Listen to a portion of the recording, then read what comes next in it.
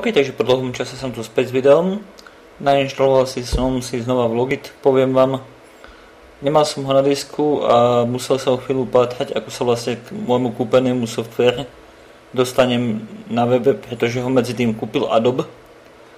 A poviem vám, nič neprehľadnejšie som nevidel, chvíľu mi trvalo, než som sa dostal k downloadu, ale dostal som sa. Vlogit nainštalovaný, nádherne beží. Takisto by som vás chcel upozorniť na prehrávač sidebare, prehrávač.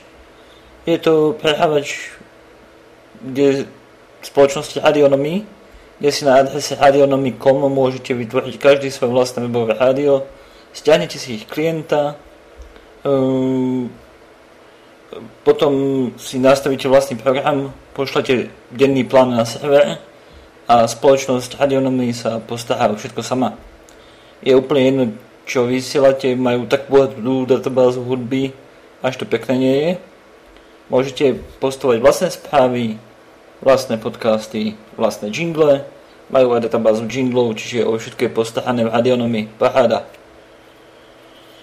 No a takže ak chcete, nech sa páči, vyskúšajte si tú službu. Odporúčam v najbližšej dobe zrejme prinesiem screencast ich manažera, pretože už sa začínam do neho trošku dostávať.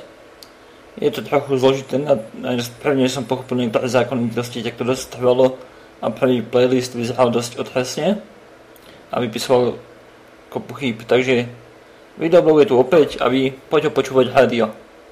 Dovidenia, do počutia, na budúce.